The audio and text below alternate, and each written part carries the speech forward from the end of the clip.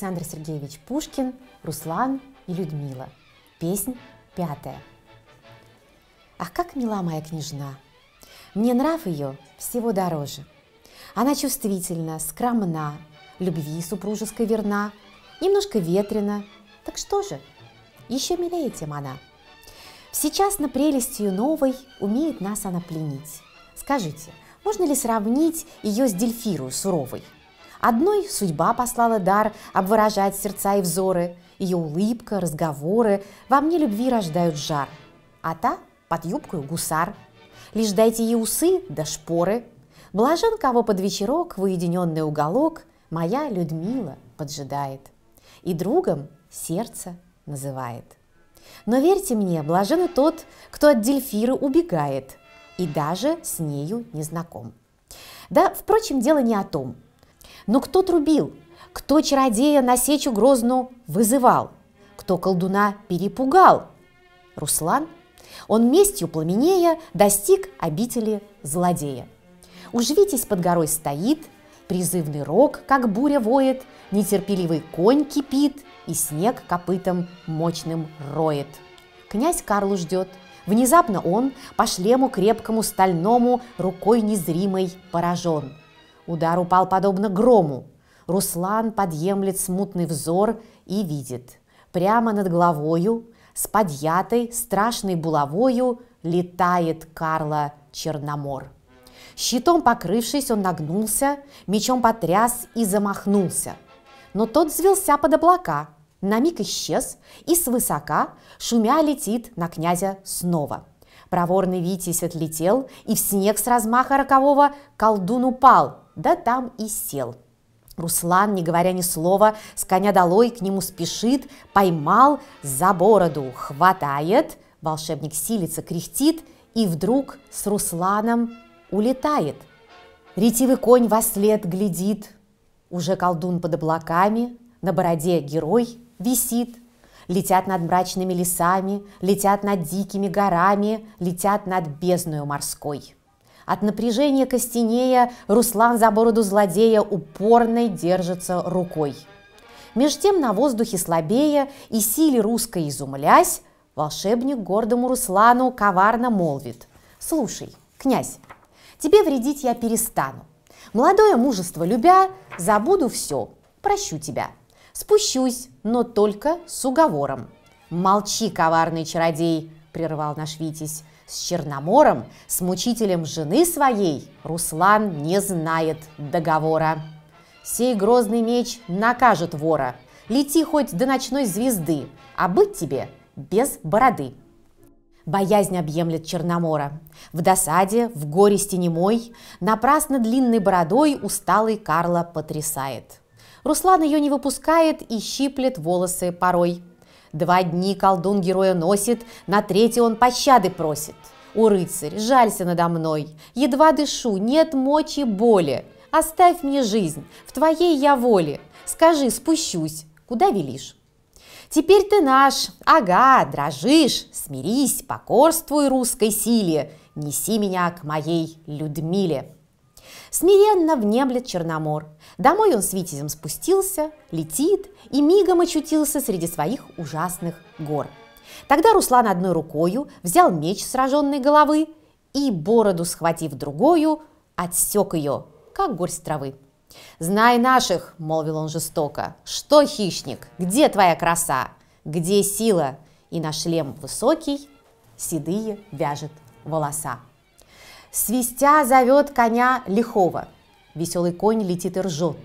Наш Витязь Карлу чуть живого в котомку за седло кладет, а сам, боясь мгновения траты, спешит наверх горы крутой, достиг и с радостной душой летит волшебные палаты – Вдали, завидя шлем бородатый, залог победы роковой, Пред ним арапов чудный рой, толпы невольниц боязливых, Как призраки со всех сторон бегут и скрылись. Ходит он один средь храмин горделивых, Супругу милую зовет. Лишь эхо сводов молчаливых Руслану голос подает. В волнении чувств нетерпеливых Он отворяет двери в сад, Идет, идет и не находит. Кругом смущенный взор обводит, все мертво. Рощицы молчат, беседки пусты, на стреминах, вдоль берегов ручья, в долинах Нигде Людмилы следу нет, и ухо ничего не внемлет. Внезапный князя хлад объемлет, в очах его темнеет свет, в уме возникли мрачные думы. Быть может, горесть, плен угрюмый, минута, волны. В сих мечтах он погружен. С немой тоскою поникнул Витязь головою. Его томит невольный страх, недвижим он, как мертвый камень. Мрачится разум, дикий пламень и яд отчаянной любви уже текут в его крови. Казалось, тень княжны прекрасной коснулась трепетным устам, и вдруг, неистовый, ужасный, стремится Витязь по садам, Людмилу с воплем призывает, с холмов утесы отрывает, все рушит, все крушит мечом, беседки, рощи упадают, древа, мосты в волнах ныряют, степь обнажается кругом.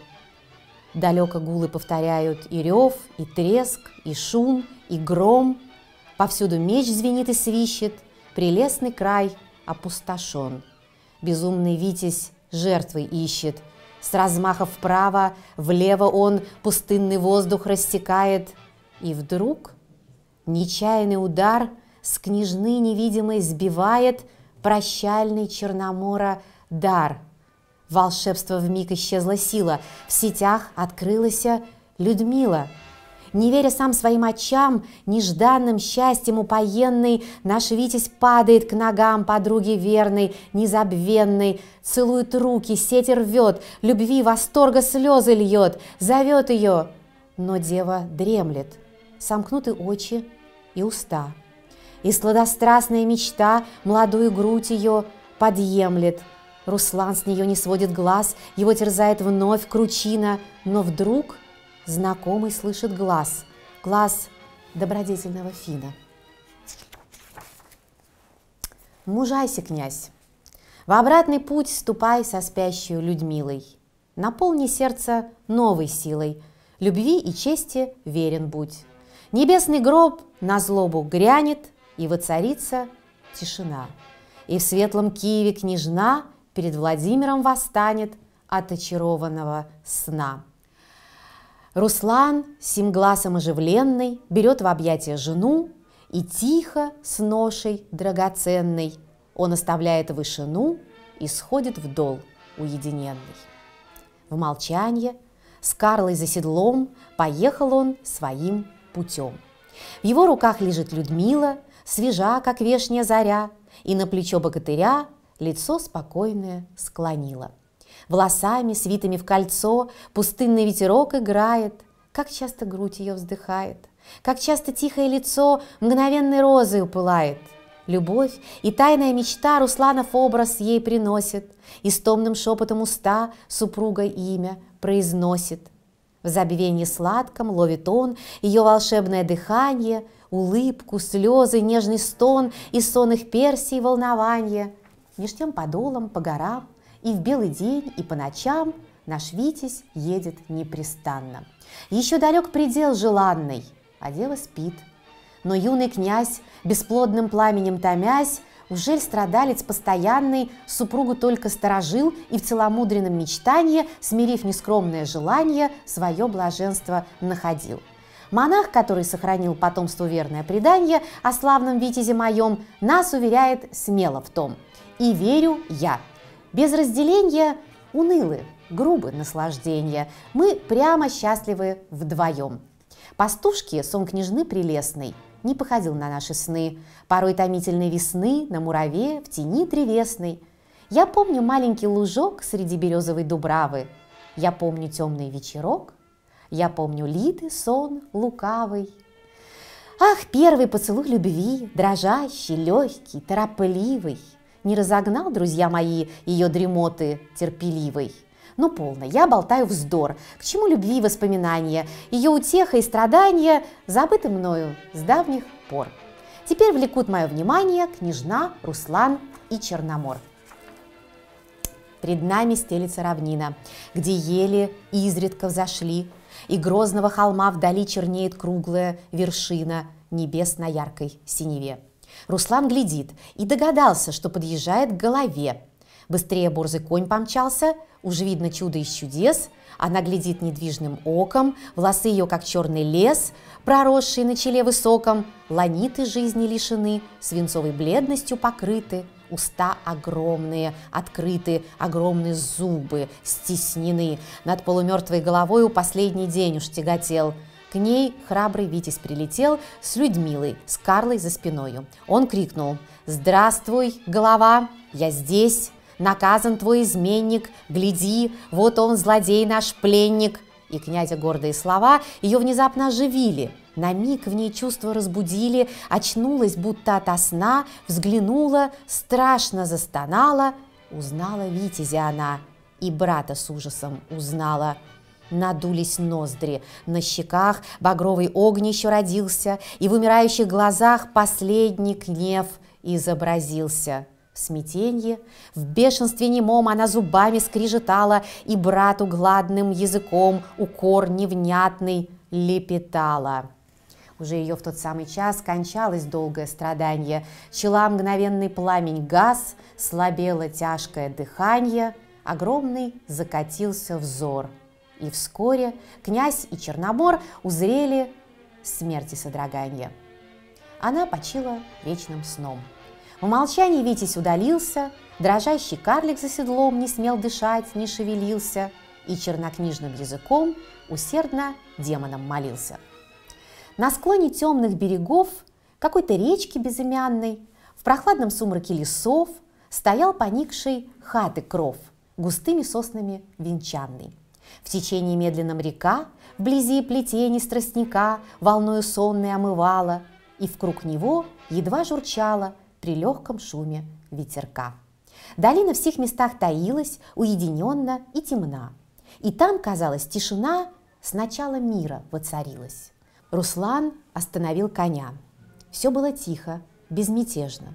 От расцветающего дня долина с рощью прибрежной сквозь утренний сияла дым – Руслан на луг жену слагает, садится близ нее, вздыхает, с унынием сладким и немым.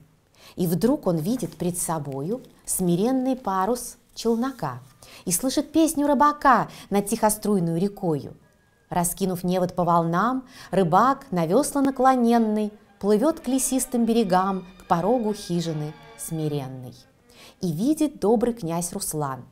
Челнок к берегу приплывает – из темной хаты выбегает молодая дева, стройный стан, волосы небрежно распущенны, улыбка, тихий взор очей, и грудь, и плечи обнаженны. Все мило, все пленяет в ней.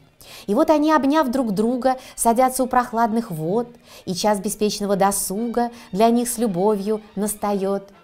Но в изумлении молчаливом, кого же в рыбаке счастливым наш юный Витязь узнает? Хазарский хан – избранный славой, Ратмир, в любви, в войне кровавой, его соперник молодой. Ратмир в пустыне безмятежный Людмилу, славу позабыл и им навеки изменил в объятиях подруги нежной.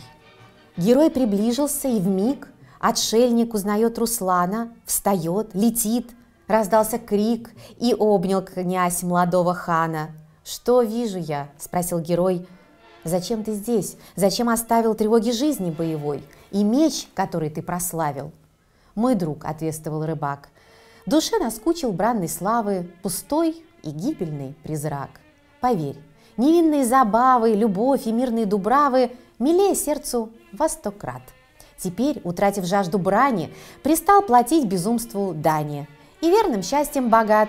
Я все забыл, товарищ милый, все, даже прелести Людмилы. «Любезный хан, я очень рад», — сказал Руслан. «Она со мною? Возможно ли, какой судьбою? Что слышу? Русская княжна? Она с тобою? Где же она? Позволь...» «Но нет, боюсь измены. Моя подруга мне мила. Моей счастливой перемены она виновницей была. Она мне жизнь, она мне радость. Она мне возвратила вновь мою утраченную младость и мир, и чистую любовь. Напрасно счастье мне сулили уста волшебниц молодых. Двенадцать дев меня любили. Я для нее покинул их. Оставил терем их веселый в тени хранительных дубров, Сложил и меч, и шлем тяжелый, Забыл и славу, и врагов. Отшельник, мирный и безвестный, остался в счастливой глуши. С тобой, друг милый, друг прелестный, с тобою, свет моей души.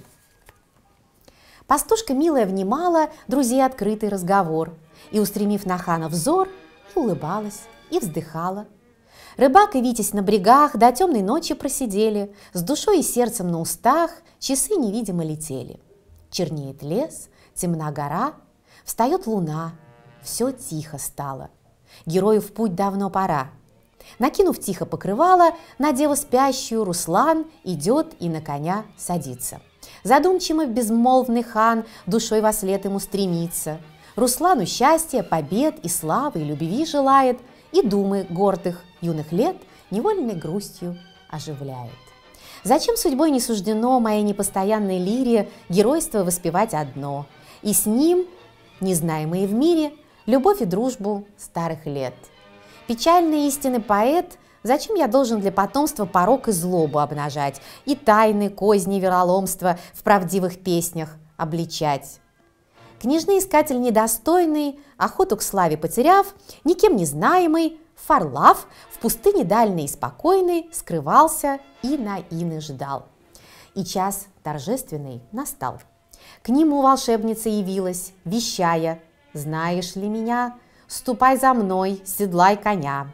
И ведьма кошкой обратилась. Оседлан конь, она пустилась, тропами мрачными дубрав, за нею следует Фарлав.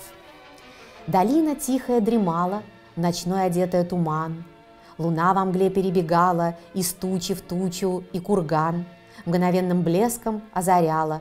Под ним в безмолвии Руслан сидел с обычную тоскою, предусыпленную княжною. Глубокую думу думал он, мечты летели за мечтами, и неприметно веял сон над ним холодными крылами. На деву смутными очами в дремоте томной он взглянул и, утомленную главою, склоняясь к ногам ее, заснул. И снится вещи сон герою.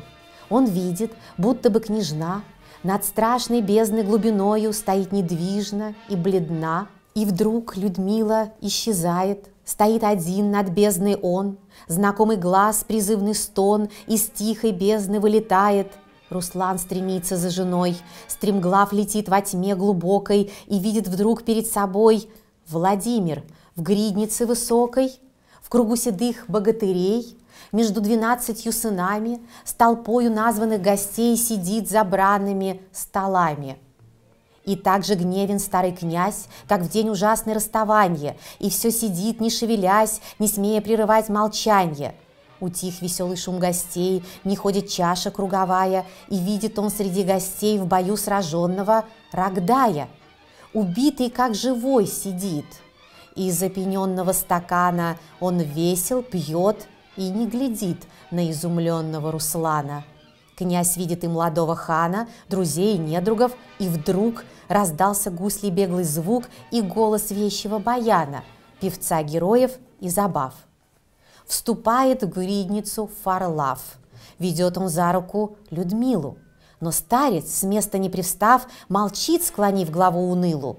Князья, бояре все молчат, душевные движения кроя, и все исчезло, смертный хлад объемлет спящего героя.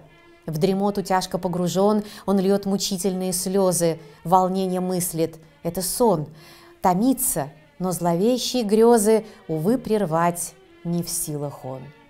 Луна чуть светит над горою, объятый рощей темнотою, долина в мертвой тишине – изменник, ведьмой ободренный, Герой в грудь рукой презренной вонзает трижды хладну сталь И мчится боязливо вдаль своей добычей драгоценной. Всю ночь бесчувственный Руслан лежал во мраке под горою. Часы летели, кровь рекою текла из воспаленных ран. Поутру, взор открыв туманный, пуская тяжкий, слабый стон – с усилием приподнялся он, взглянул, поник головой убранной и пал недвижный, бездыханный.